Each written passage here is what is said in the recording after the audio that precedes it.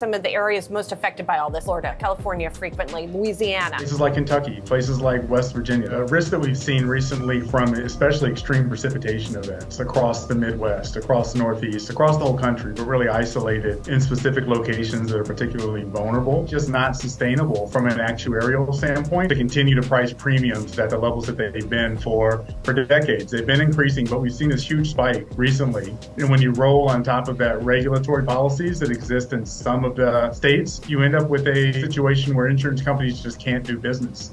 All it would take was one natural disaster to hit in one specific location, and the, the program wouldn't be able to cover all the claims that would come in from the from the damages.